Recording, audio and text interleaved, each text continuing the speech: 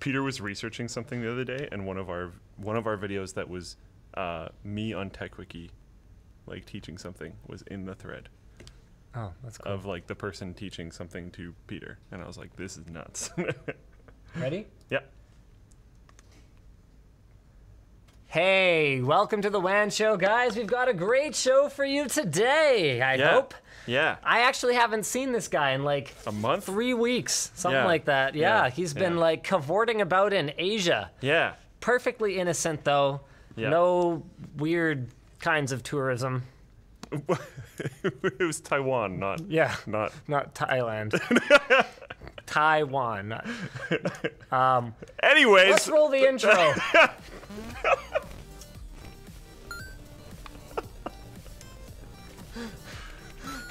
oh boy.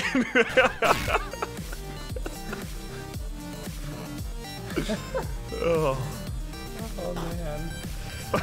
this is not going to be a good show. we are off to a real raw, rough start here. Yeah. Yeah. Yeah.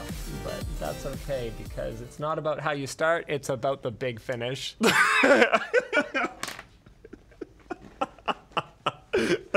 Would you believe I'm trying to hire a new writing staff? Would you believe that? Is is like part of the process, like how many dick jokes you can come up with Oh, in during the interview? No, no, definitely not. There's there are bonus points for saying that they think I'm funny though. Only one Oh, okay. person did it today, so um, you know I want to commend that Sounds one like individual one on their honesty. Oh yes. Yeah, I want to commend them on their honesty because everyone else, they're like closet thinking I'm funny because I know everyone thinks I'm funny. Of course. Yeah, not so much. All right, fine, fair. That's fine. Yeah, no, I'm actually finally um, finishing up the writer search that I started four months ago or something like that. I've been traveling so much that I just have not had time to do it properly, and I would rather just have it take too long and go through everyone fairly versus you know trying to spread it out over um, you know many weeks and then like the people that i evaluated at the beginning maybe i'm not using the same standards as the one at the end like i wanted to be able to sit down and like do it in big chunks um, and so we've uh, started our interviews. We're not quite done interviews yet, but um, we're looking to make a decision pretty soon. So we're going to be increasing the writing size, writing team size here by like forty percent, sixty percent. I don't know. How many people you hiring? Math is not a strong point. Two to three. Oh wow. I thought this was one position. No. Holy cow. Yeah, two to three. Are you that I've? hmm, Are you expanding channels? Because that's a lot of writers to add on. So we haven't talked about anything yet. Okay. But um, actually, so you don't attend Linus Media Group Monday morning meetings anymore because you are not an employee of Linus. I still get the Group. emails and I poke through them sometimes just to make sure Yeah. like the power isn't going to go out or something without so me knowing. I, I gave I actually gave like a big a big speech on Monday. So I was uh, I was talking about. Um, or wait, should we talk about some of the topics we're gonna have today, or should I just get right into? You know what? I'll, I'll get right into this. We'll talk about topics in a minute. yeah. Um, seems pretty on point. So I was talking about um, some of the changes that have been taking place on YouTube lately and how they've affected our Yeah. channels. Yeah, yeah. Um, you know, YouTube won't admit anything. Um, I've had Ever. I've had correspondence with them, not just with my partner manager, who is quite a senior member of the team and who I, I, I believe when he tells me, you know, nothing changes or nothing has changed, or that it's machine learning and nothing discrete was changed, but that doesn't mean that it isn't always learning and always changing. Um, and I've even gone higher up the food chain than that.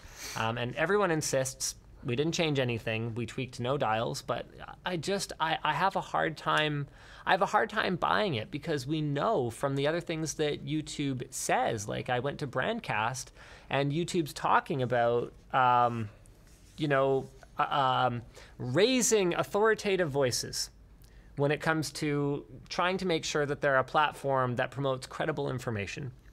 But can you raise an authoritative voice without suppressing yeah. another one?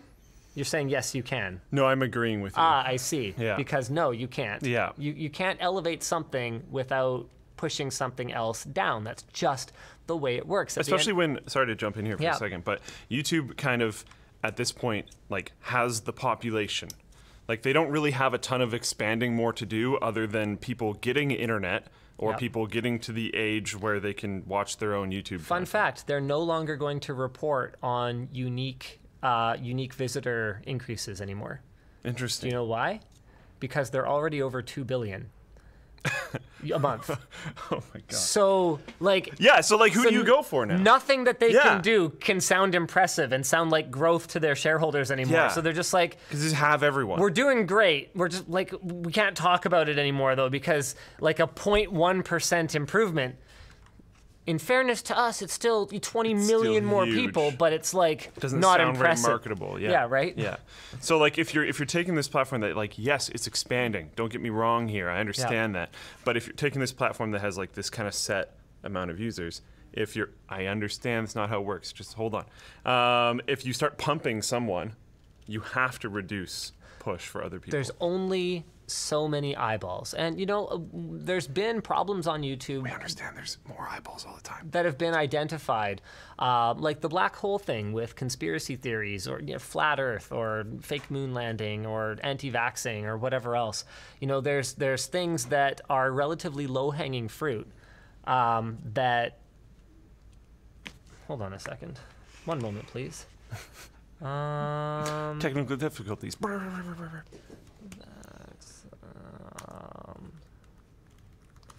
I'm just checking to see if. Uh, okay, cool. So in February, YouTube demonetized anti vax channels. Uh, Facebook, YouTube to suppress anti vaxxer content. This was from PC Mag in March 7th. Good. So there's other sources, so I don't have to be the source for this. So YouTube is suppressing anti vax content.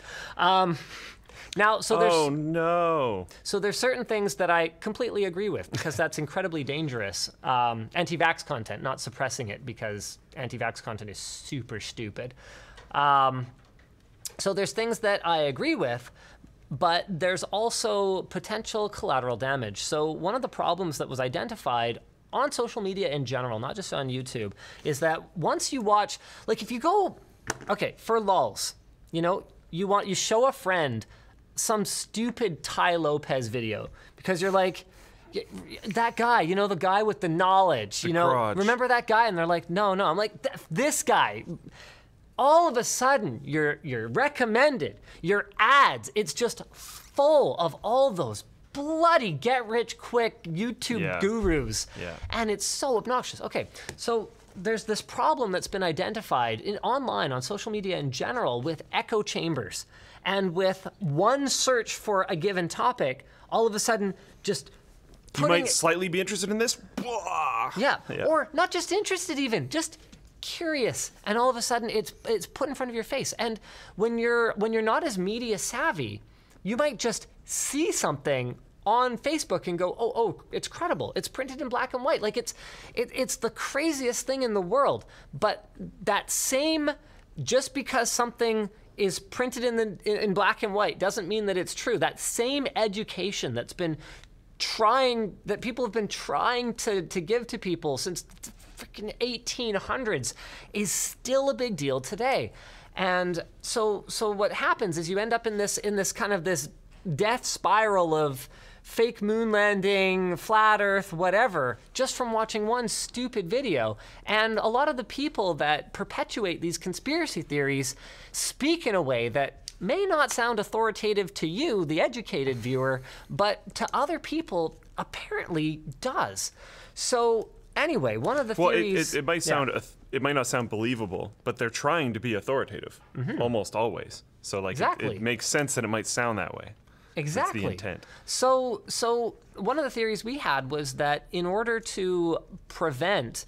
Um, you know these kinds of, of echo chambery things from happening. YouTube might have been de-emphasizing um, more niche content and then pumping stuff that's safer. Now, that was the theory. And we were kind of like, oh, well, we're tech. We're kind of niche. We're also a niche within tech. Like, quite frankly, a lot of the content that we upload would have absolutely no place on uh, uh, a more mainstream tech content channel like Yeah. like Marques's. Like, Yeah. come on.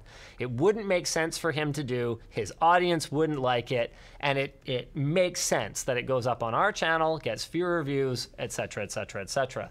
Um, so we were looking at it going, okay, well maybe part of this is we're just more niche And so people, because we noticed the biggest dip in viewership was on our back catalog.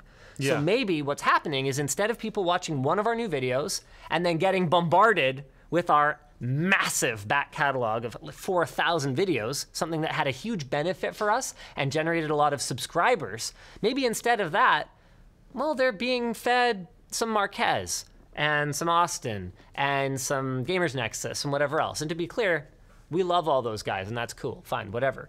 But it definitely did have an impact on our viewership over the course of this year. So from there, I actually had some really great conversations at the YouTuber YouTube Creator Summit, and um, Derek from Veritasium posted a great video. Did you watch that by Yeah, the way? I did, yeah. Posted a great video on his theory about why his shade ball video went viral, and um, basically his theory. It's funny because I, in some ways, I give YouTube like so much credit like the like the puppet masters or have all these different strings they're pulling on. His theory was so simple that I forget whose razor it is, where the simplest solution is. Occam? Is that Occam's razor? I think so. Anyway, Or Occam, yes. Yeah, the simplest solution is usually the correct one. His theory was as simple as YouTube has taken the um, the the click through ratio that you get with your with the, the the clickiness of your title and thumbnail, and it has shifted the axis so that a smaller difference in click through ratio gives it a greater proportion more promotion on the site and then a small difference the other way gives you way less. So instead of it being kind of linear, if your click through ratio is great, you're like way up here. And if your click through ratio sucks, you're like way down here. Um, so that was another interesting theory because we have also had our click through ratio decrease this year as we've moved away from more clickbaity titles and clickbaity thumbnails which sucks, but it's something that we've committed to our audience that we're going to do. It just means that we'd really appreciate if you guys clicked the bell. Yeah. And then watch the video right away. Yeah. That actually makes a huge difference. Even if you're not going to actually watch it right now, if you drop what you're doing, start the video, put your phone back in your pocket. I don't care. But if you just just click and just just go about the rest of your day, go watch it later. Doesn't matter. That initial click through ratio basically determines everything about how that video is going to perform. As far as we can tell, that's Derek's theory, and it's so simple, it might just be right. Yeah. So, anyway, LTT has actually struggled in terms of viewership this year. It's actually it's back up in the last four to six weeks or so, and we are tracking a really good j- direction right now. But coming back to our all hands meeting this Monday. This was a very, very long story. Wow, we're 12 minutes in. Um, coming I'm, back to I'm engaged right now. Coming back to our all hands meeting this Monday, I actually did stand up in front of everyone. You know, when I stand up during the Monday morning meeting, there's usually A usually little serious. good news, everyone. Yeah. Um, I basically went, look, this is something that I've really struggled with, not just um, professionally, but also personally. You know, trying to figure out what am I doing? What am I doing wrong? What can I do to fix it? Um, does the audience just plain not like me anymore? Um, is is is PC hardware losing its sex appeal? Like I was trying to identify what it was because unless I know what the problem is, I cannot fix it. And um, what I ultimately came to was that there was a combination of audience sentiment things that did need to be addressed, you know, talking to the audience directly about things like doing less offensive thumbnails and titles, that kind of thing, you know, making sure we're appending the, the the brand and the product wherever that makes sense, things like that. I thought that was part of it. I also thought that some kind of change, whether a manual change or an algorithmic change on YouTube's side was part of the problem. And then the bigger conclusion that I came to is that maybe if we build our business correctly, it just doesn't matter. Because where LTT has struggled this year, TechLinked Yeah. has actually picked up nearly all of the lost watch time, nearly all of the lost viewership and lost revenue. And I kind of went, well, TechLinked was an accident. After the failure of Channel Superfun and uh, a bit of a stagnation period that we went through with TechQuickie, to be clear, TechQuickie's going really well right now. Uh, so massive shout out to John and Dennis. Yay. Uh, so after kind of a stagnation period for TechQuickie, I was full like triple down mode on LTT. I was like, okay, we just throw all the LTT has literally ten times as much staff as any other channel, even now.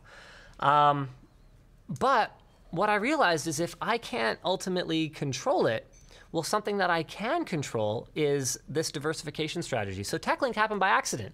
My homeboy Riley lost his job because his company went out of business, and I was like, "Yo, dog, I've been trying to hire you forever, you twit. Get out of the dumpster. Get get out of the dumpster. Get get Come on. Get get on Come over here." on.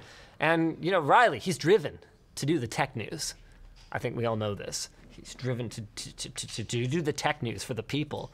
Um, so, so we created TechLinked. And TechLinked was a, an accidental, complete success. Like, that channel is freaking awesome. I get my tech news from TechLinked. Like, it's awesome. You get your tech news from. Nice. I genuinely watch it all the time. I just yeah, it's great. And clearly, a lot of people do. TechLinked regularly gets half a million views a video, even though it only has like 700, 800,000 subscribers. Like, it's outstanding. Yeah. It's just a great show. Um, anyway, so I was looking at it going, well, maybe we're just maybe we're just thinking about this too narrowly. Maybe the answer here is to broaden the net instead, because that way, every time uh, TechLinked struggles a little bit and you know needs a needs a, a fresh a fresh coat of lipstick, or you know every time LTT loses its its groove, or every time TechQuickie runs out of things people need explained, as if that'll ever happen. Something else can carry some of that weight, and we can spread things out. The other really cool thing about TechLinked is that it doesn't rely on me. Yeah. At the beginning of TechLinked, I was far and away the top performing host on that channel in terms of the views that each video would get. Like, of the top 10, I was all but one of them. And then of the bottom 10, I wasn't in any of them. Like, I was clearly, my face was driving more clicks. Really interesting fact over the last couple of months, I've actually been on the bottom half, which I think is great That is. because yeah. it means that Riley and James, and I mean, we've had Dennis host, we've had uh, Alex host, we've had Yvonne host. It means it means that people are connecting with the team and with the brand, not just Linus Sebastian, the person who quite honestly can't do everything forever. And so I was so so basically I had this um, this sort of magic moment where I went, okay, LTT is starting to recover, which is good. we can hire. Um, dodged a bullet there. Uh, but also, maybe it's not the future. Maybe it's just one part of the future, and we can we can bring people more types of tech content that bring them happiness in other you know tech ways. And that's been one of the great things about the channels that you guys have expanded is like if you liked Linus Tech Tips and you don't want an education channel or a news channel or a channel of us playing with weird toys and being very cringy, you could just keep watching Linus Tech Tips. It didn't matter. And Linus Tech Tips will, as far as I can tell, carry on just as well as it has, and other channels will keep carrying on. And you're maybe expanding. What are you expanding to? Are you saying at this point? I don't know. So it was really interesting because normally when you enter the hiring process, you know, you might go in and say, uh, you know, I really want someone with um, JavaScript experience or whatever. Okay. You you set out what your your job requirements are. Yeah. Um, Well, I am just looking at all my applicants, and I'm figuring out What who can I do with this person? best applicants are, and then I will I will create programming. It's actually there's some a little bit larger companies than Floatplane uh, that do this in a lot of different spaces. You try to find people that are extremely talented and passionate, and you go like, "Welp, I'll make you super valuable. Let's go." Uh, it's it's uh, actually if you can manage it, it's a very apparently cool way to do things. So, not necessarily just the new people, but there's people who are already here that the new people could come and alleviate some of their workload, Mm. Yeah. and maybe they could pursue a passion project. Uh, James and Riley have been really into Talk Linked. Do you know Talk Linked? Yep. Okay, totally different from Tech Linked because it's just one topic instead of many topics, and it's long instead of short. Yeah. Um, and honestly, the last, the first episode, kind of rough. The second episode, a lot better. And the I was I happened to eavesdrop on sort of a, a, debrief conversation, and they had identified basically everything that they needed to fix. And they're like they're iterating and they're they're going through that creative process. And I'm looking at it going like, wow, like this is great. This is me witnessing the machine working. Working. Yeah. Um, and but they don't have time. Right. So James has produced, I think, four LTTs in the last two weeks because Jake's been on vacation. Um, Anthony's been tied up preparing some of our really cool boots that we're going to have for LTX. He's got 10 years of PC gaming. He has 10 gaming rigs to configure, build, and benchmark and set up demos on. Like, ugh. so he's been super busy. Um, Alex has been tied up. He's actually putting together our like makerspace next door Yeah. right now. Yeah. Like, so James, we've been leaning on him really heavily, but that means he hasn't had a ton of time for TalkLink. Um, so you know, we could bring these new people in. They could lift some of that load, and then we can kind of spread things out. We can figure out what makes sense. I mean, as Make long each person a little bit more agile. as long as we keep a really great team dynamic here, and as long as we stay passionate about tech, whether it's news, you know, news is important, Riley, whether it's news or whether it's something else. Um, yeah, uh, I, I guess yeah, we're, we're we're gonna we're gonna do more stuff though. You know, I'm I'm I'm not done yet. Cool. You know, I was thinking about it, not thinking about actually quitting, but thinking about phasing myself out. Um, you know, it's You've been sort of talking about it for a while. Yep, I, I was I was really thinking about it. I mean, you and I chatted about it back at CES, I think, um, and I've just been kind of considering whether like whether I'm done. Um, you know, and when the when the channel's not performing well, because at the end of the day, it's not up to me. It's it's not up to you. It's not up to the rest of my staff. Like, you know, everyone here could go, "Oh no, Linus, you know, we really want you to keep being the face of the company and the face of the channel." And I'd go, "Well, yeah, that's great, but if the audience doesn't want it, then like it's a nice sentiment, but it actually doesn't matter." You At could all. you could pivot to uh, hear me out. You could pivot to like vlogs of you doing. Hey, hold on, hold on, hold on, hold on, hold on, hold on. I'm not saying daily vlogs or anything. Just What am I going to be a family vlogger now? no. That actually isn't where I was gonna go with it. Hold on. Hold on. you really enjoyed your like RC car hacking electronic stuff. Yeah. the gun's going a little bit further away. Um, just like you experimenting with technologies in ways that you actually want to, and just like fumbling around and trying different things Yeah. instead of trying to go with this like hyper entertainment or hyper So we've done a bit more of that lately. or whatever. I know, Yeah. but having a little bit even more freeform and being like off the line of Tech Tips channel, so it could be like pretty separated if you wanted Okay. to. Here's one problem with that. At 4,000 videos in, I've run most of the experiments that I was kind of like wondering about when I was in That's high school. Yeah, yeah. I have so much more resources now than I used to. You know, one of the things I really struggle with right now is just um, having too much resources. Like, people got mad when I upgraded my gaming rig. So there's a couple problems. One is that people don't think critically sometimes. So they were like, why are you calling a Titan graphics card slow? So the thing is, depending on what generation of Titan is, it is it could be really slow by today's standards. It is. It could be literally the fastest card on the market, all the way down to slower than literally anything that Nvidia currently sells. like, uh, and then you know you've got people that are frustrated because for me, upgrading my personal rig is as simple as showing up at Nvidia for a sponsored project of all things. And saying that I've been finally finding time to play games lately, um, but Anno 1800 is like chugging on my system, and them just being like, what? I'll I'll put a graphics card in the mail. People people get mad about that, and I get it.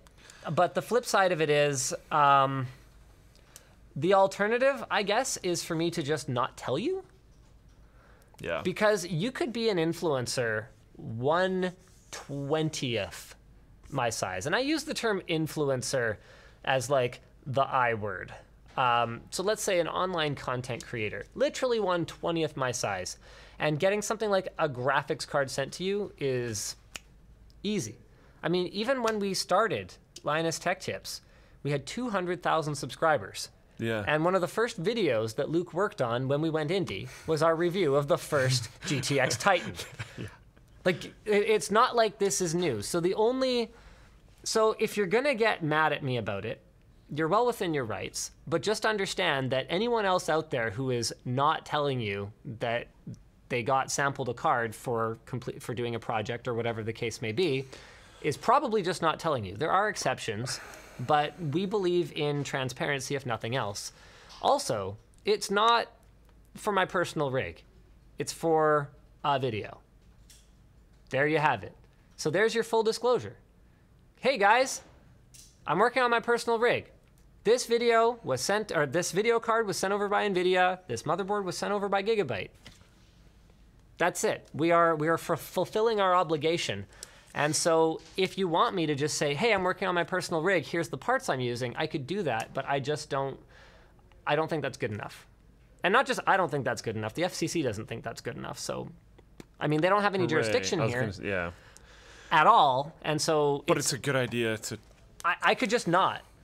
But for my part, I would rather take a little bit of negativity and uh, just deal with it. And there's people that are going to be resentful, but I guess my response to them would be, um, you know, where's your channel? Where's your investment in building something so that people want you to show their products on it? Like, I'm not saying that anyone can be a YouTuber. I'm just saying that you literally won't know unless you're like really trying to do it. Give it a shot. And then should people be should people resent you if someone sends you a graphics card? I don't know. Have you have you heard Taylor Swift's new song? I haven't. Oh boy, do I sound like her? Please don't tell me I sound. No, like her. actually, no, no, no, no, no no, no, no, no, no, no, Stop it. That actually ties in really well to what I would say right there. Is the title of the song is "You Need to Calm Down." You're being too, or and then a part of the lyrics is like "You need to calm down. You're being too loud," and the whole thing is just like "Leave it alone." And this is, I think, one of those kind of situations where like he's he's telling you. I, I I have seen a lot of creators do a lot worse things where they hide it or there's something going on in the background and they're not communicating that stuff. Him saying like, "Hey, they sent me this card," doesn't mean go buy this card. It's the best one. No, and I didn't say that. No. I have never recommended a Titan to anyone. No. Nvidia knows that. They still sent it. Yeah. It means, hey, I got this card. I might as well use it. It's gonna fulfill all the things I really care about. Sweet. Dunk. It's literally the fastest card, so cool. Put it in. I don't know. And people are all over the map because on the one hand, you've got people mad that I'm putting in an RTX Titan. And then on the other hand, you've got people mad that, like, what kind of tech influencer are you? You're not even running SLI. Yeah. Yeah. You've got too many people in your audience at a certain point. Like, You like can't please everyone. Yeah, yeah, exactly. Um, This shirt is kind of pleasing though. We should probably do ad spots. oh, right. Yeah. And surely you mean sponsor spots. Oh, right. Oh. Because our sponsor integrations and placements Yes. surely do not compete with YouTube's ad formats. Yep. We should do a WAN show on that at some point. Why we have to call everything sponsored. That would be awesome. Just kind of some inside baseball for you, ladies and gentlemen. Uh, Yeah. Ridge Wallet. Yeah. Where's the Ridge Wallet? They didn't give us a Ridge Wallet to talk about. Uh, they might have been hoping mine would be here, Oh, shoot. but honestly, Did we screw up? straight up, Hey, Jake! Jake Daly drives one. Is Brandon getting one? Hey! Hey! Brandon Whoa. saves the day! Heck yeah. Thanks, Brandon. So the reason why I don't have mine on me is because uh, I was traveling You didn't lose it, did you? and I lose my stuff way too often, and I didn't want to lose it. oh, all right. That is why. I actually believe. See, This is why he said that, because it's happened multiple I times. believe you. He lost the first phone that he ever earned as an influencer. And I'm going to use the word earned because you don't become an influencer by accident. He left it on a plane. It was an LG G3? G3. G3. That it still haunts me to this You day. dork. So, stop carrying pointless items around in your pockets, like receipts, old hotel room keys, or spent gift cards. The Ridge Wallet is designed to help you carry less. It uses two metal plates that are bound by a strong elastic band, keeping all your cards tightly together, but still easily accessible. It's RFID blocking, and it's lifetime guaranteed. It comes in different types of metal, like aluminum, titanium, and carbon fiber, which is not a type of metal, but chill. And you can use offer code LTT to save 10% on a Ridge Wallet at ridgewallet.com slash LTT. Oh, you want to hit me with a carbon fiber? Woo! It's lighter. Go freaking figure! Who would have thunk such a thing? Wow. Uh, also up for It is today's show is Savage Le Jerky. Where's my maple buffalo bacon? You can pick between these two, and I am salivating already. Oh, Savage Jerky was made by a group of friends that were tired of the same mediocre jerky. They wanted a snack that was flavorful, spicy, and something that you wouldn't regret eating later. They've got 13 different flavors of jerky, like mojo, ghost pepper buffalo, and my favorite, maple buffalo bacon. you might you might regret might regret uh you might regret uh, you know ghost pepper buffalo a little bit partially. You won't regret the flavor. You might regret what it does to you. You might regret what it does to your toilet. Yeah. But hey, it's yummy. Um, and they don't just sell jerky. You can try out their hot sauces. I haven't tried the mojo habanero one that I'm holding up right now, but the ghost pepper one is, or the Carolina Reaper one. That's the one I have. It's so good. I really I haven't tried this sauce, but I really like this jerky, so it's probably good. Um, they've also got their uh, barbecue sauces, and they've even got a spice rub that goes great on anything. They've got a promo on right now: buy three bags of jerky and get one free. Heck yeah! So check it out at lmg.gg/slash savage jerky. Finally, we got Displate. Boom! How do you like that LTX Displate? Yeah. Pull, pull it off. Pull it off. That's how easy it is to mount a Displate. Make your walls look awesome with Displate. The posters are made out of metal. They're three millimeters thick. They've got bent edges so that you won't cut yourself. They use a magnetic wall mounting system, and they've got 15,000 artists who have contributed to over 260,000 different designs. Each Displate sold gets 10 trees planted. They offer oh. hassle-free returns. They're already gift packed, and with code LTT, you can save 15%. So just head to lmg.gg slash displatewan. Oh, and apparently oh. these are for sale. Oh, Honestly, these are really sharp. that's cool. These are like Yeah, these are pretty cool. You know how people used to get those metal car signs in their garage? Metal tech signs in your computer room or Right. where you have your computer.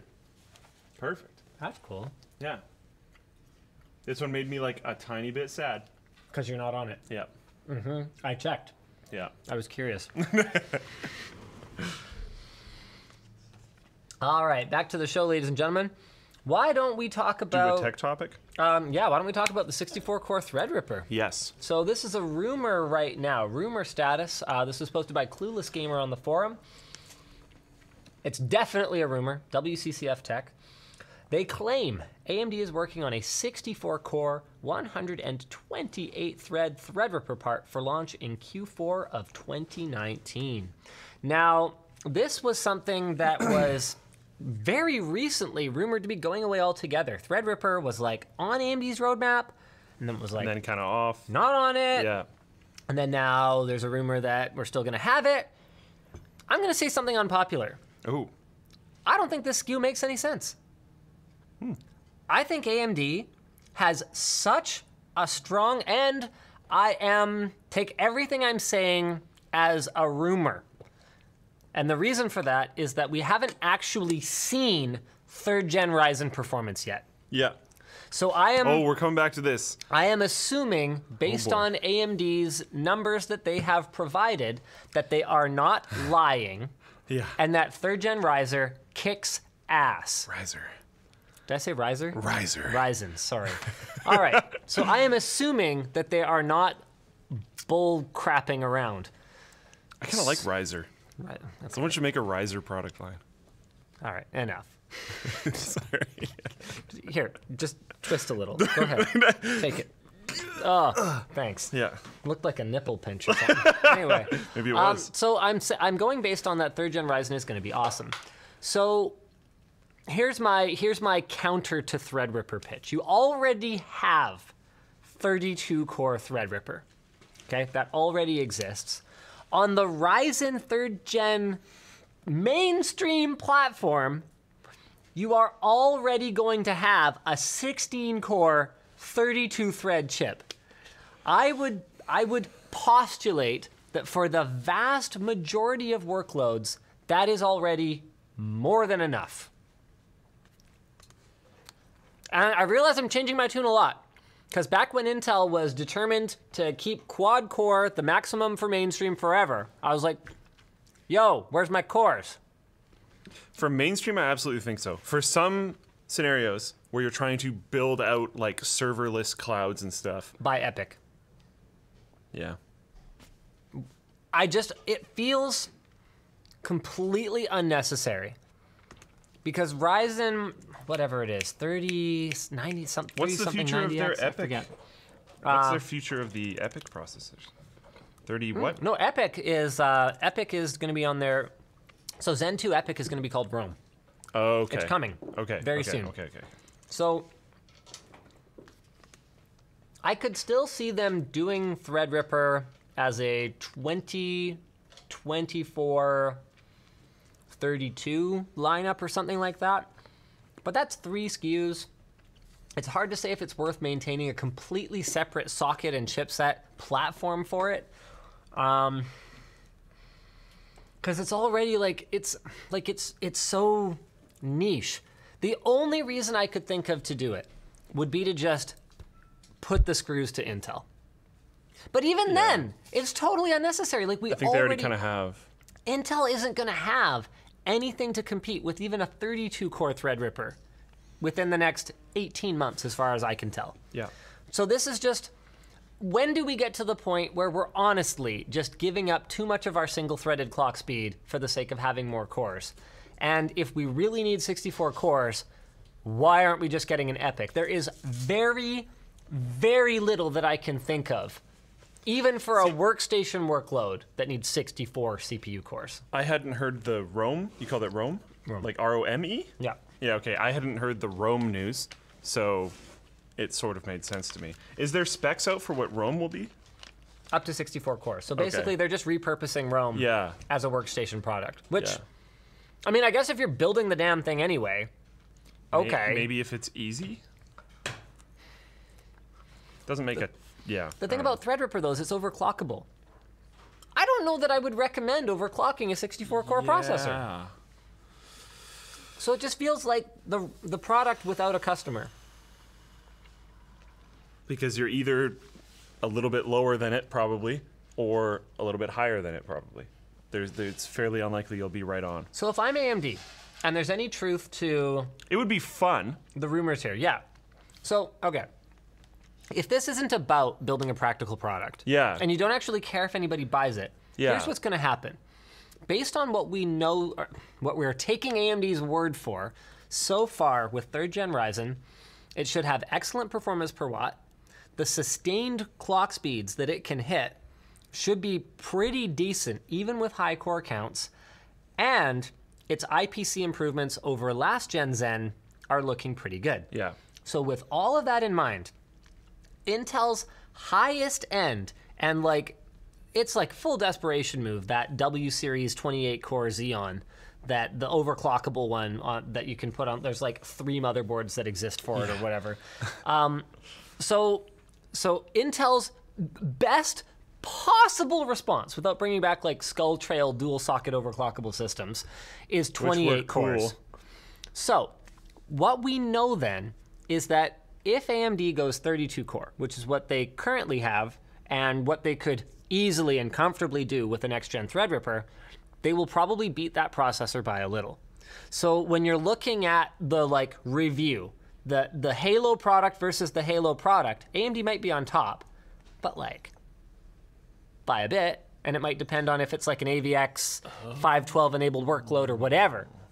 If AMD releases a 64 core processor, they know that for the first time uh, ever, no, no, they beat Intel to dual core. last they beat them to dual core. So for the first time in over 10 years, they know that they will not just beat Intel at the top of the benchmark leaderboards, they will absolutely fucking destroy them. Pardon my French. Sorry. We don't have the button. Yeah, I need the button. Ah. Like we're talking there will be benchmark graphs where people are showing, you know, video encoding in FFmpeg or Cinebench where AMD literally is outperforming Intel by a factor of 2. Yeah. That's the only reason that I can think of for them to do it. It sounds fun, and with how like successful they've been for the last little while, maybe that type of fun is becoming worth it. Where like the uh, the the last round of processors from AMD, I would not have necessarily said the same thing. Well, now that they're selling anything at a profit, they actually have some money That's what to I mean. play with. Yeah, yeah, yeah. So that helps. Yeah. it's cool though. I, I don't know. I've, been- I've been very happy with all this AMD stuff, um, and with constant security vulnerability problems coming from Intel. Um, it's it's uh, it's good time over in that camp. So the rumor is that um, it would be socket compatible with existing TR4 motherboards after a BIOS update. Um, it, there's speculation that it's probably a 14 nanometer part. Um, we're expecting it to be priced in the 2,500 to $3,000 range. Um, and they're aiming for mid Q4 2019 because they have something planned for CES next year, or at the very latest January 2020. Um, actually, I don't even know if these are Zen 2 cores, which is interesting because if they're not 7 nanometer, they wouldn't be, as far as I know. Uh, forgive me for not having all the details about this rumored Rumor, product, yeah. but uh, we'll see. We'll see how it goes. Either way, the only way that I could see this making any sense for AMD is just as a gigantic fu, Which is fun. which is fun. Yeah, yeah. All right. Speaking of fun, Xbox Scarlet announced. You want to talk about this one? Uh, yeah, sure. This is awesome, by the way. And if you're in the computer space and you're like, no, consoles suck. No, it's awesome. Shut up. Because every time new, really awesome consoles come out, everything steps up a little bit.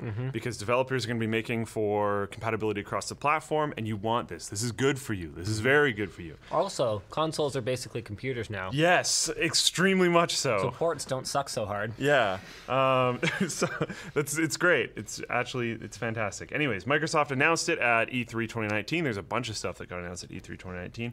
Um, they're they're they're apparently will have a physical disk drive, which is actually important to know because they've been talking about maybe not having that for a little while now. Can I It's a- interrupt real for a sec here? Ah, This is a really important comment. Clash and Cube India says Linus got a great body. Thank you. damn. Go ahead. you know, I did I did um, auto completes for you and I on YouTube recently, just out of pure cur- pure curiosity. Yeah. And one of your top ones is topless Really? or shirtless or something, but effectively without a shirt on. That's uncomfortable. So there you go. Cool. Nobody should want to see my weird chest hair tuft. Um, it's a custom designed AMD processor uh, using Zen 2 and Navi architectures. Sexy. From a pure processing perspective, it's four times more powerful. And while I was reading this, I expected it to say the original Xbox One, but it's the Xbox One X, which is that's actually like that's cool. Uh, capable of running games at 120 hertz frame rates. Now, I want to jump in for a second and say that that is a BS way to talk about the power of a game console. That's true. What game are we talking about? What at what texture de- resolution? And this At what this detail will, level? At what draw distance? and this is going to apply to the next note as well. Uh, Keynote says 8K compatibility for a brief second. Like- like yeah, is it a picture? This stuff makes me so mad. So there were people posting again on the personal rig update one. that are like, PC gaming is a joke because even with the Titan RTX, it was still only running at 70 to 85 frames per second. uh, As if it's that simple. It depends on You how much you cranked the- up the details. do you remember uh, the console comparison video we did? Yeah, like at the last big launch. That was technically like the last big console launch. Uh, it's just been forever. You guys should do another one. Yeah, we totally should. I was also thinking of Just doing a video. A lot better. doing a video called "Console Marketing is Stupid," where we basically. okay, but PC marketing is really stupid too. I know, but console marketing VR ready. is SLI ready. that's really stupid, and I don't have to accept that. So the reason that marketing a console as 4K is that everything has trade-offs. I could run games at 4K on a six-year-old computer. What games? At what image quality settings? Pong. Exactly. I could run. I could. I could. Whatever. th- This laptop. I could run a game at 4K, 120 frames per second. If I don't tell you what game it is and what it freaking looks like, that is not meaningful information. It's like it's like having a multivariable algebra equation and you've only got one number, and everything else. You've got variables X, Y, Z, A, B, C, gamma, freaking. it's all over the place. It would be cool if they tried to maybe use a first party title. Like for Microsoft, pretty easy one to call out Halo.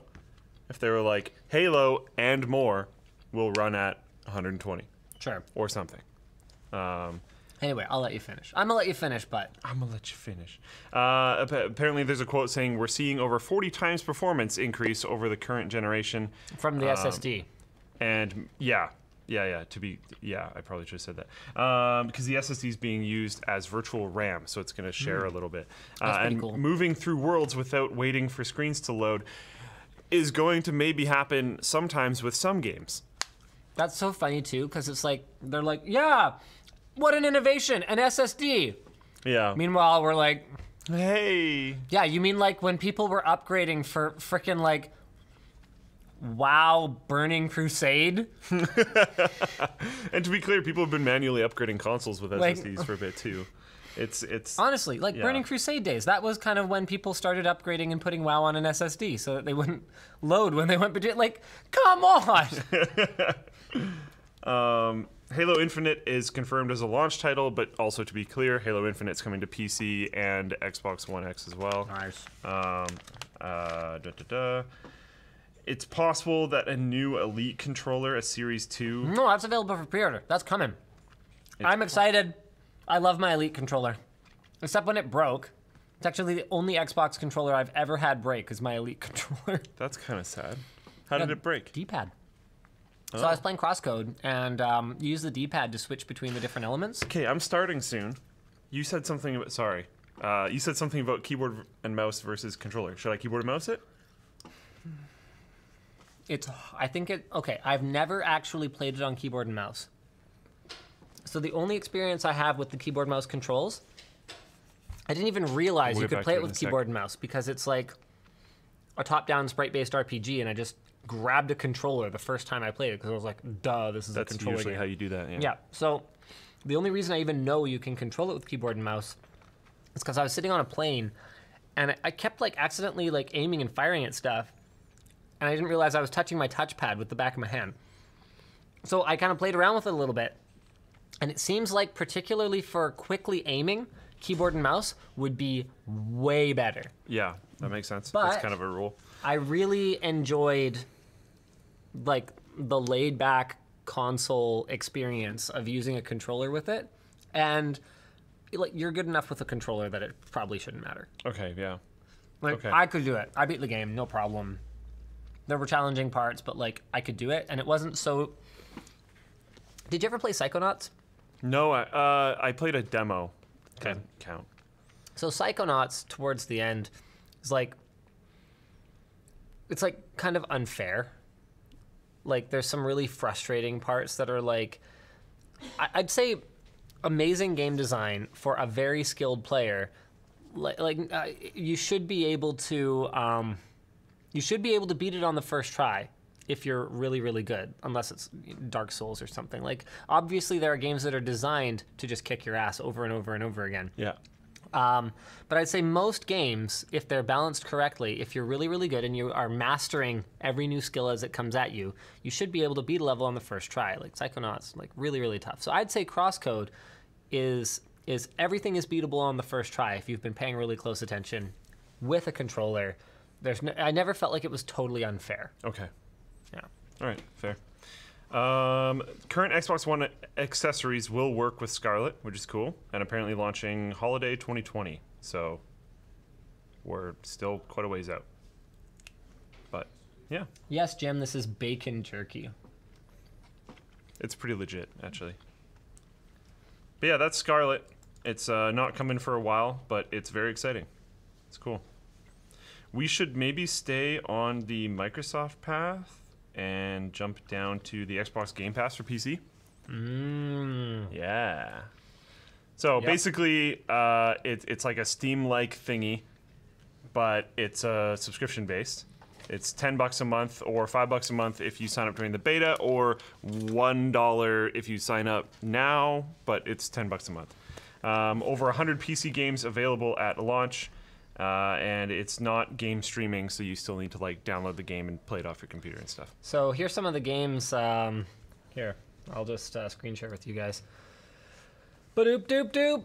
333 results.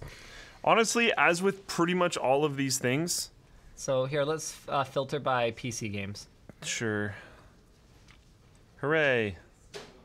108 results. That's more like it. Yeah. Doop doop doop doop doop. A lot of it is stuff I have never heard of. Forza! Sea of Thieves. Here's a war. Here's a war. Bunch of first party stuff. I think the most interesting things in here are going to be the first party games. Other than that, they're going to be mostly things that c- could have been very cheap if you caught, bought them on certain sales, uh, or things that you're probably not going to be super interested in just because unless you're like equally interested in literally every game genre because there's a whole bunch of different game genres. Maybe this is a really good game. Is it wrong if I'm a little offended on by someone trying to capitalize on Mr. Rogers? He was so against that kind of stuff. Is that supposed to be Hello neighbor, come on, wearing like a plaid sweater vest. Oh, it's a super creepy game though. It's it has nothing to do with. I hear ya. I see where you're going. You can't say hello neighbor without it yeah, being Fred Rogers. I got you. But you're trying to like I, I've never played it, but I think you're trying to like break into that guy's house, and he's trying to like catch you. Hmm. And then, yeah, I think he's holding a shovel because he attacks you or something. I Broforce, don't actually. highly know. recommended. Broforce is amazing. Luke and I played through it a little while Broforce. ago. Slay the Spire is great. Very good. I actually really enjoyed Lucky's Tale. Really? yeah, did you not?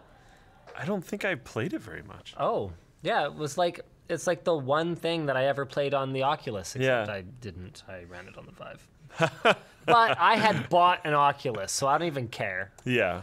So because I bought one for LMG, Yeah. so I I I ran that on an unauthorized guys- system with no.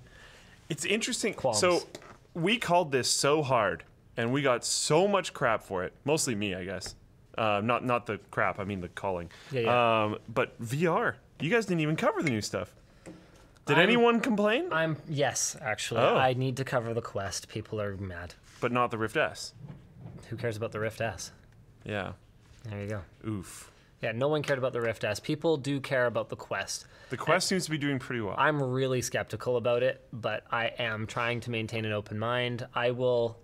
I was I was gonna will come here and say I understand, but I think you should cover it because I don't think Linus Tech Tips should lose the foothold of covering VR content No. because I think it will be really big at some time, at some point Oh hey, in time.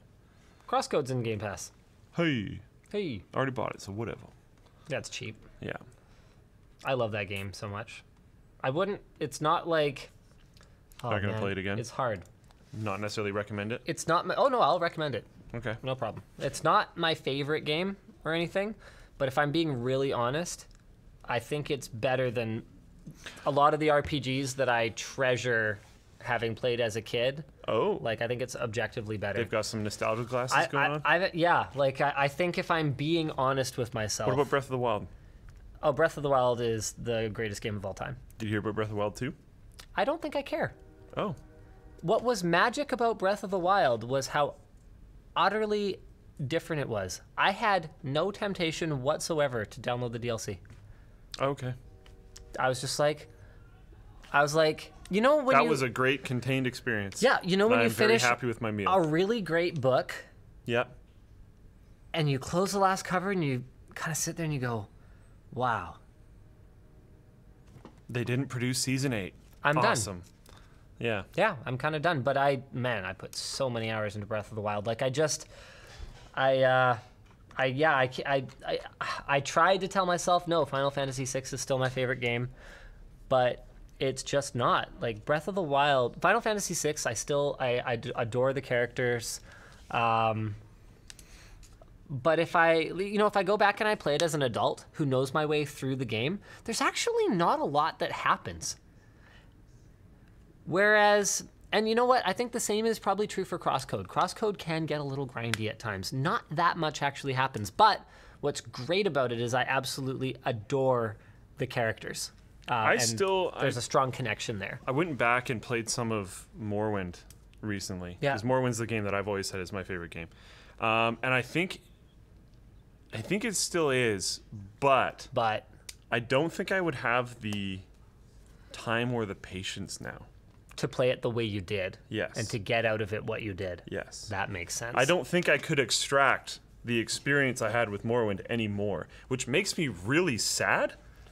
But like, You done grown up? yeah, to a certain degree, because like m- the thing with Morrowind was I, the the game starts. They give you this like package thing, and you're supposed to go give it to someone, mm-hmm. and it was worth something, so I just sold it all the time. And that was what started the main quest. So I actually really thoroughly enjoyed the game for like months before I realized the game had a main quest. Yep. And I was like, "Oh god." And then this unlocked this whole other part of the game and it was it was very interesting to wander and explore.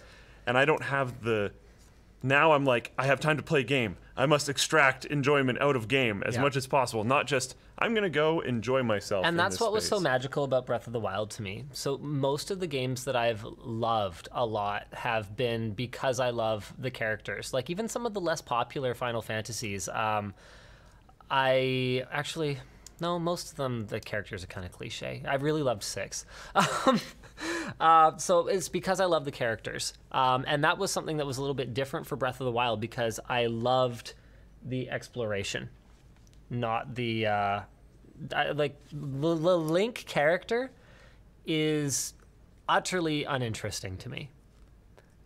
Okay. There's not much to him. No. No, the Zelda character is she might as well be Princess Peach. They are completely interchangeable to me. They're like um, a damsel in distress, but over the years, because uh, you know empowerment, they have become strong, independent women, and that's great. Great. But that doesn't. That's still completely two dimensional. And you know what? I'm sure that there's like supplementary manga or something. Like, Sure. Yeah. Yeah, some type of additional But thing. some people only play the games, and you, you gotta you, you- you gotta well, give if you me read the lore, you gotta give me something to work with here. Like Link Yeah. is literally a silent protagonist, um, and and that's that's a storytelling mechanism. But but what was magical about Breath of the Wild was definitely ex- the exploration. And what I Yeah. usually love about games is the characters. So it's just it's hard for me to admit that my favorite game is not one that's about the characters, especially because I would never go and explore a world that I've already explored, but I might go have a story retold to me about characters that I love. So for me, Breath of the Wild has no replay value, whereas I have played Final Fantasy VI through to the end at least half a dozen times, And, like, to- and almost through probably twenty times. to reaffirm all of these points, Yeah. it's on the same map. Oof. Yeah.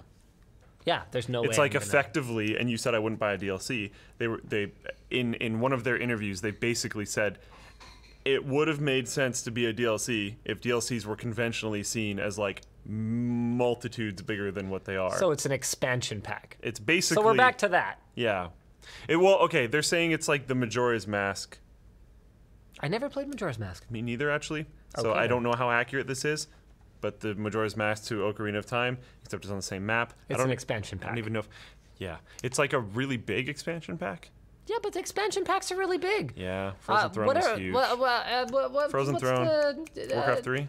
Oh no, I was going further back than that. I was Oh. actually going to use Warcraft 2. Ah. I'm trying to remember. Don't don't tell me. Don't tell me. It's Warcraft 2: Tides of Darkness, Beyond the Dark Portal. Yeah. Uh, it's it's Beyond the Dark Portal. The Beyond the Dark Portal campaign is just as long as the Tides of Darkness campaign. If I remember correctly, Frozen Throne campaign is just as long. It's just as long. You're right. It is. and and it like completely overhauls and changes the game, but And, it's like, the same sort of thing. Supreme thing. Commander's expansion pack had a campaign that was just as long and added a race.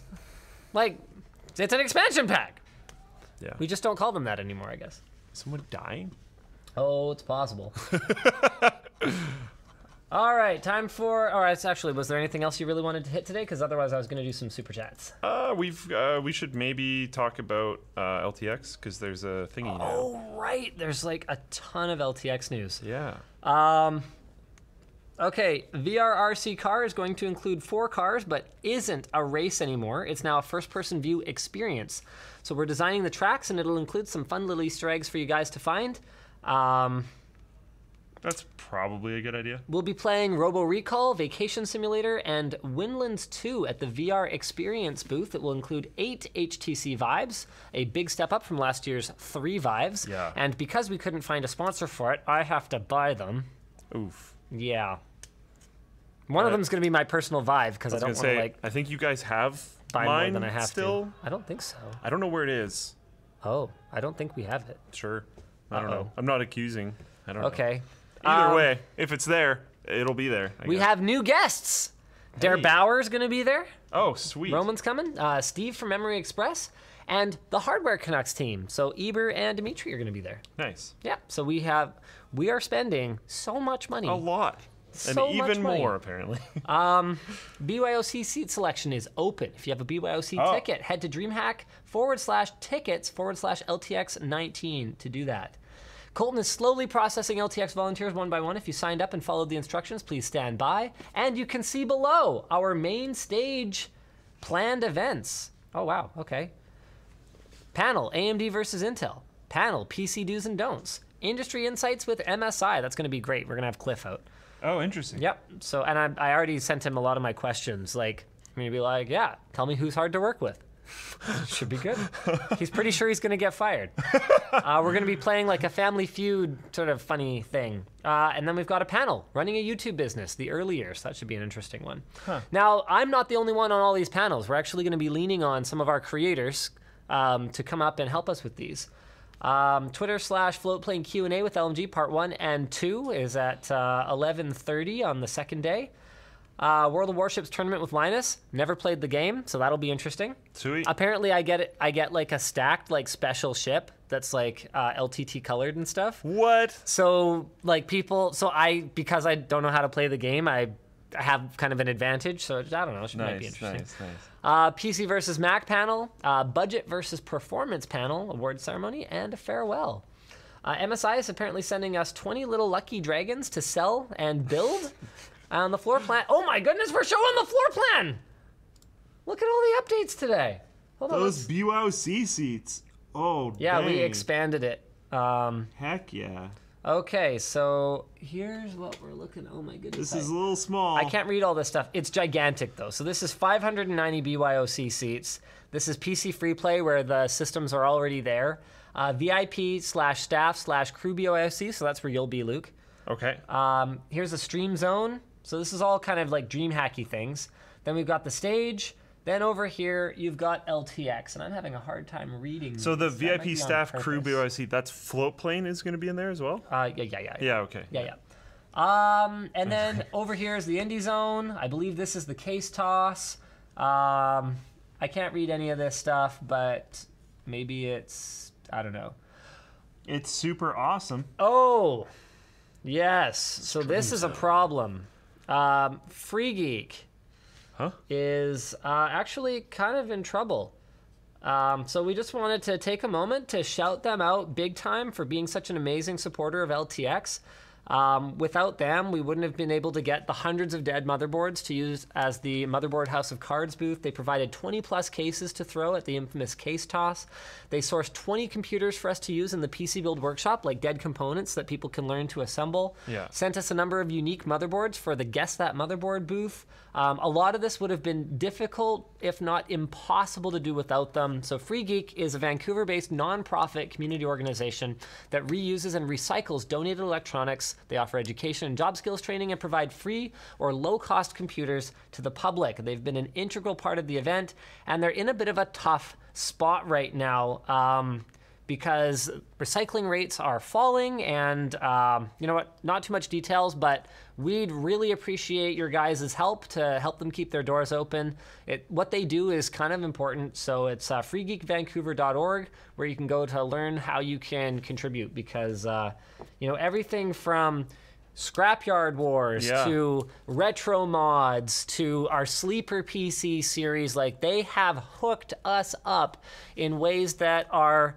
like not money but just PC community relationship ways And like this, this is the kind of stuff you want in the PC community because Yes. if you think back to your current or maybe younger self, depending on where you're at, Yeah. uh, there's a point in time where if you're really into PCs, these types of outlets is what you need to lean on. Maybe the only way that you could afford one. Yeah, to be completely honest. So, so inspiring new, young, or or uh, less financially fortunate minds in our space is how is is keeping That's how these it grows. open. Yeah. All right, so guys, go check it out. That's freegeekvancouver.org. And uh, we should go ahead and uh, call it some super chats. Yeah. Amari says, finally, YouTube Premium. Got sick of ads. Good stuff. And thank you for the $2. Um, Jamaican, you too. Presumably Logan, Frozen Sniper, you guys too. Sup, Spencer. Uh, Connor says, What were you doing with Gavin? Uh, couple of really cool things. so Gavin wait, from does Slow Mo Floatplane know? I think here. Floatplane knows what you were doing. With No, they don't. That video's not up yet. Oh. So uh, we did a couple of things. We determined once and for all whether 240 hertz monitors have an advantage over 60 hertz for gamers. Oh. Yeah. And in a bunch of really interesting ways. Cool. So, does it affect reaction time? Does it affect your kill rate? Does it affect the way that you aim?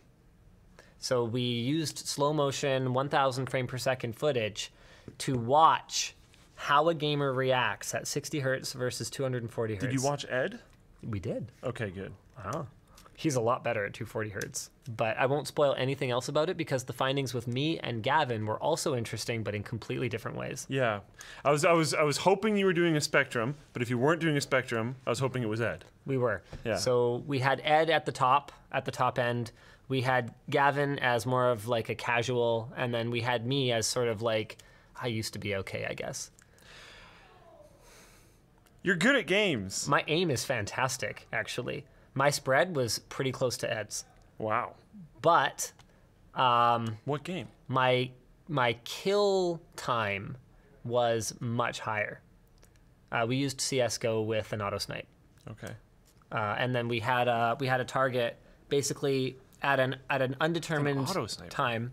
Uh, well, the reason for the auto snipe was we wanted to give the um, if you got a headshot, you took him down in one. We told everyone to go for headshots, but if you hit a body shot, we wanted it to be possible to take down the target in the time that you had while they ran across the hallway. Okay. Um, so you basically had to, you had a pixel that you had to point at, and then you didn't know when it was going to come, and you had to take him out as fast as you could as he ran across. So Interesting, yeah, very interesting. really, really cool test.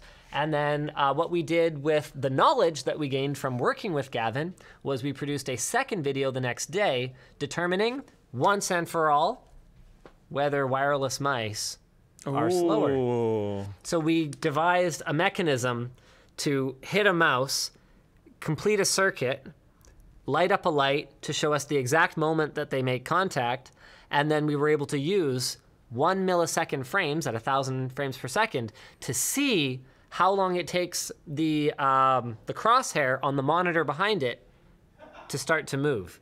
So we were we weren't able to actually determine down to one millisecond which mouse was faster because we don't have the equipment to measure that. We can't intercept the signal from the mouse. But we were able to tell if any monitor on the market could possibly give you the feedback fast enough Yeah. that you could detect a difference. Yeah. And uh, it's going to be a really, really interesting video. Um, so that's what I was doing with Gavin. Commissioner says if the 64 core Threadripper was cheap, not sure where you're going with that because it sure as heck won't be. Uh, sup, Jason, Will Briggs, Westerly, uh, Derek. YouTube Premium gives free super chats. I think that's what like most of this is. Zach says put it towards some tooling for the mill. Uh, oh man, that workshop is going to be freaking awesome. C Bart hashtag save channel super fun twenty bucks. If only it were that. If, simple. if Uh, you only know it was what? twenty bucks. You know what's really funny is it is not impossible that Channel Super Fun could end up resurrected as part of this diversification push. We'll see. It's not dead. It's just on You want to support. You want to know a, a fun a fun little fact here? Yeah. Remember the pigeon? The pigeon. Was it? I think it's called a pigeon. Um, Apple Pigeon console. Pippin. Oh, the Pippin. Yeah, Pippin. yeah, the at mark. It's at. Uh, it's probably paid for itself by now. Has it? It's like three million views or something. Really? Yeah. How much did we pay for that stupid thing again? I think it was five hundred bucks. Oh, Oh, can literally buy like a brand new Xbox One X for what we paid for it. The worst console ever. and like a game and some controllers. yeah. Um, yeah, three million views. Hell yeah. What's up, Nick? You guys talking about the merch store yet? Oh, oh, he wants us to talk about the merch. store? So this this is our hot item right now. This hoodie is finally for sale. Yeah. Did you get one yet? Okay. Oh, really? Ouch. Nick is my savior because my luggage was lost. You lost it? No, I did not. No, an airline did. ah!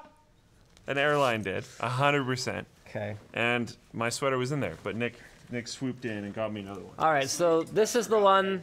He did, but either way, This is the one that's like the hot seller on the store right now. Yeah. It's lttstore.com. It's got like a little oh, it's got a little logo here. It's got the phone pocket on this side that holds even really big phones. This is an early prototype. So actually the um, we had enlarged the phone pocket after this one because it didn't really fit very well. It was like hard to get it in and out. Um, also, this one, see how yours goes a little bit lower? We made it about an inch longer because this is an early one because it was always riding up on me like that. I also have a rather tall torso, and it fits on me perfectly fine. I know some people uh, ask about how different fitting things work, so Uh, yeah, we changed the zipper to YKK instead of whatever this is. that's that's good. Yeah. That's- so we, we made smart. some quality and some wearability improvements. That's why these projects take so long because you're sending feedback, you're waiting for new samples, you're sending more feedback, you're waiting for new samples. If it was just as simple as like getting a shirt printed, this merch stuff would have paid for itself ages ago. As it is, we're okay, so we're making money on every item we sell, but we're deep in the red in terms of the total investment that we've put Yeah. in. But honestly, I'm so much happier like wearing our stuff. Oh, okay. now. As Like, an as so an good. outside party, the the stuff I was most upset about losing in that like okay, one random little tidbit. I lost literally every single pair of bottoms that I own except for these shorts that I'm wearing in that luggage. 'Cause I don't, I don't have very many bottoms. It's gonna take you a long time to get free bottoms to replace those bottoms because I know you won't pay That's for them. That's why I only had that many. I know. It's because Trust me, I those are the same jeans I've had for like seven years. I believe you. But okay, as an outside source, the shirts are insanely comfortable. The Constellation one is actually my like favorite shirt, which is also gone out of stock right Um, now. we're working on getting more. Uh, the problem is we can't get that color of shirt. And so we're working on an overseas source. Um, but unless it meets the standard of the ones that we are using now, we are just, we'd rather be completely out of stock and not sell anything than compromise anymore. I'm just tired of it. And it's insane. I'm just gonna step in again. Still outside source. Your shirts are twenty bucks. Yeah, they're not that bad. Basically, no influencer shirts are twenty bucks right now. Twenty dollars a shirt is the like five to ten years ago pricing for most of this kind of stuff, which is pretty awesome. The shirts feel great. The printing's great. The sweaters are thin, yeah. which is usually bad, but it's not. no, They're it's because super it's like a, comfortable. it's like a, a, a French terry. yeah. Like it's not like a cheap thin. It's I uh, haven't had a sweater like this before. So Every thin sweater that I've had sucked. This one's fantastic. I slept with it over my face when Nice. I didn't have a, another option while I was in Taiwan. It was great, and then it's gone. But and I was really sad, and I got a new one. we're trying to we're trying to keep the pricing reasonable. That's like one Yeah, of the big sixty things. bucks for a sweater. Again, It's sweaters not are kind of expensive. but it takes us a long time to make this stuff. So Yeah. yeah, it is what it is. Jeez, Luke, go buy some pants. Well, I have to now. Okay. So I will. Maybe Whatever. we'll start. Uh, Lloyd really wants to do joggers, so Joggers would be dope. I, I don't really like them though. So my my new thing my Oh. new thing with the merch actually I, I I listened to a talk from Kris Jenner of all people. Um, you know what? You can say what you want about the content, but you have to respect the business savvy. Uh, and she was like, "Look, focus. Focus on what you actually are passionate about, and it's a lot harder to screw up." And so I'm going, you know, so I, I so I got back to the office and I canceled the joggers project because I don't care about them. Okay. And I was like, nope, we're gonna do stuff that like I care about a lot. So the underwear that's coming, Yeah. it's really nice. Okay, good. Because I lost also a very high percentage of my underwear. The underwear, the underwear, Fairly soon, literally my entire wardrobe is just gonna be LTT stuff. The underwear which I'm sweet. okay with. it's like really nice. yeah, that's awesome. Um, anyway, uh, Connor says, can you recommend a battery pack that can power a USB-C powered laptop? I don't know anything from like like Anker stuff Anker. is Anker, pretty. Yeah, Anker. Just go Anker, I guess. Yeah. Um, Weekend Gaming Nerds. Wow, I'm, we're getting so many free super chats. Guys, thank you. Uh, Twigs, Darkstalker, Azarel, Lee Gamer, uh, Matt, Aaron, Also, th- Marcos. this is the new CPU shirt, and it's super cool. yeah. I like that it like doesn't really look like tech. Yeah, but if you But if you you can know- also identify it. Yeah. Yeah, yeah. Uh, DistroTube. This show is cool. Have you guys ever considered switching to GNU li- GNU slash Linux? Find out more about free software software freedom and the GNU project at gnu.org. Oh, thank you. Sweet. We had never heard of that. Let me get right on that for our Adobe Premiere editing workflow. well, I'm not. ugh. I'm not trying to be a hater. We use Linux where it makes sense, like Yeah. our storage servers, for example. Floatplane. All of Luke's Floatplane crap runs Yeah. on Linux. yeah. But we're not ready to advocate switching to Linux for like a media production environment. It's not it's not a thing yet. And uh, before you send another super chat, which I appreciate by the way, about DaVinci Resolve, yes, we're aware of it, but it doesn't do everything. um, Michael, Freddie, Lazar, Lachlan, Danny, um, Arash, thank you very much. Uh, Midland says, Good evening, guys. Wondering if there's a way to clone an internal SSD to an internal software RAID 1 SSD array. That is a tremendous question, and I have actually tried to figure out how to do it. I don't know why. With the Intel RAID, when you create it, you can't just say, Hey, all of that, that one drive, that one's good. All of that to the other one, too you have to clear them when you create it. And it seems like the kind of thing that I do know that there are um, like there are values that you that you write when you create a raid that kind of tie the two together. It just seems like the kind of thing that someone over the last couple of decades might have engineered a solution to by now. Yeah. Uh, as far as I'm aware, um, I I don't know of a way to do it. I'm sorry. Rehan uh, says the search on Floatplane is there, but doesn't seem to be effective. Yeah. I know. They're working on it. Yep. Um, There's actually like a fix for it, but it's just not up yet. Uh, Lorenz, sorry, don't think about quitting. I really miss you lately on the channel. Don't worry, I'm not. I'm, I'm not going anywhere. Uh, QWERTY, to be honest, I love all the other staff, but if you're done, I am too. I like having the variety, but I'm here for you. Well, I, I appreciate that, but also I appreciate the support for the rest of the staff because they're awesome. Um, niche requests podcasts. Interesting. Ben Burrell says, "Water cool the new Mac Pro. We're gonna create our own new." This Mac is Pro. a podcast. Yeah, this is a podcast, by the way. We already have a podcast. Uh, Jax, well, said story-driven podcasts, Nah, what? uh, like Reply All. Uh, watching your Oh. rig upgrade, Thunderbolt config. Is it still in the closet? Okay, so I had to rip the Gigabyte board back out that night and put my old board back in because I don't have a Thunderbolt 3 to Thunderbolt 2 adapter. so really sad story, especially because Brandon and I stayed late to finish that video. oh no. So I ended up reusing that motherboard in a, you know what? I won't spoil it, but there's more videos coming up. That narrative is far from done. Uh, Nabil says, "Hey Linus, you're paying too much attention to the feedback. Great to have the feedback, but do what you like, man. We enjoy seeing you stuff. Do the stuff you enjoy. So that's good. That's important. But also, I do need to take feedback because it does matter too. It's just like filtering it. That's the key." Uh, Dave, just because I want to one up Arash, sends twenty four ninety nine. Oh, thanks, Dave. Uh, Luke needs a chair that says at Floatplane. He does. Oh. Yeah. That'd be cool. What a terrific point. Um, okay. And in like blue. Jesus Franco says, uh, YouTube gave me this, so here you go. Game Breaker says, Yo, Linus, what did I miss? I only joined like a minute ago. Are you for real, bro? we're just gonna, we're gonna recap the whole the whole WAN show. you know what? You can't blame a guy for trying. you gotta respect that. At least at least he took a shot. You gotta try things. Yeah, but yeah, you know that? Yeah. Yeah, shoot for the moon, right? Because You if miss, You, if you like- miss, then it might come down on an old lady somewhere. Yeah. Thanks, Yanai. Uh, Jake says, would love a vlog channel. Nope. I'm out. I'm done. I'm telling you, man. I'm telling you, man. I actually have a pretty good vlog channel idea. I don't have time to do it right now though, but it's like it's pretty different. It's pretty different. Um, Oh wow, I don't know if I can get through all these. Whenever we do super chats like earlier in the show and people are like, "Oh wow, they're actually going to remember super chats today." We get a bunch of them and then we can't finish them. I would strongly recommend if you guys want to like do super chats, do them earlier in the show because then we'll get to those ones first. If we when we don't.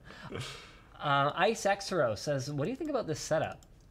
An EPYC 7401P with 64 gigs of DDR4 ECC, 5 GTX 1080s, and a 4x480 gig SSD on an MZ31AR0 motherboard. Sounds like a, like a machine learning setup or something. You gotta be careful. weird config. What you're inviting is config feedback from everyone. Oh yeah, no. Oh right. Yeah, I'm sorry. I don't do that. Uh, go post on the new builds section of the forum. Yes, thank you, Luke. Good call. No problem. Um, I do this stuff sometimes. okay. All right. But up, but da Make sure. Okay. Yeah, and we're done. Bye guys. Bye. See you again next week. Same bad time, same bad channel. See ya. Whoops. There we go. So upset that it's still not up. I am Blur says I have two friends that are 4XL and can't ever find YouTube merch that fits. I think right now we only go up to 3XL, guys. Um, man, we could we could try, but what I'll say is that even 3XL, um, a lot of the merch that we source is like uh, like like the the really nice shirts that we're talking about, how great they are, are not available in that size. So even our 3XL, I believe, is a different shirt. Oh, really? Yeah. All right. Bye for real.